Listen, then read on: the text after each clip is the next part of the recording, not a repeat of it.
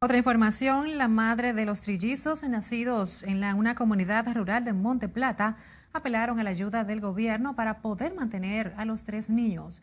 La señora Hilda Contreras, de 26 años, dijo que no tienen recursos para mantener a los trillizos nacidos hace casi dos meses debido a su situación de extrema pobreza.